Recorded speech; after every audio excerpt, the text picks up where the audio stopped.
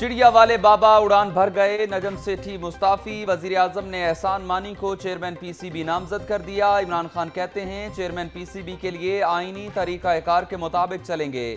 احسان مانی کو الیکشن لڑ کر چیئرمین پی سی بی بننا ہوگا، جو ذمہ داری دی گئی، اسے دیانت داری سے نبھاؤں گا۔ احسان مانی کا کپتان کی امیدوں پر پورا اترنے کا عزم۔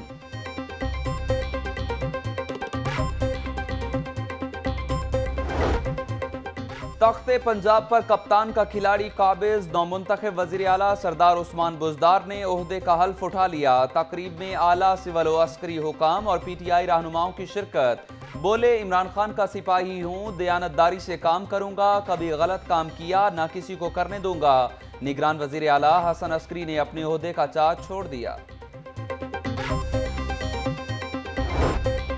نئے وزیر اعلیٰ نے حلف اٹھا لیا۔ سابق وزیر اعلیٰ کی نیب میں پیشی۔ پنجاب کمپنی سکینڈل میں شہباز شریف نیب دفتر پیش۔ تحقیقاتی ٹیم کی ایک گھنٹہ چالیس منٹ تک سابق وزیر اعلیٰ سے پوچھ گچھ۔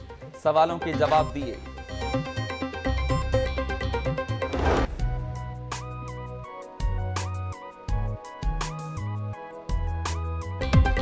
اور عید الاضحیٰ قریب پردیسیوں کی فٹافٹ گھر واپسی، لاری اڈوں اور ریلوے اسٹیشن پر رش بڑھ گیا۔ ٹرانسپورٹرز نے کرائے بڑھا دیے۔ مسافروں کو مشکلات کا سامنا۔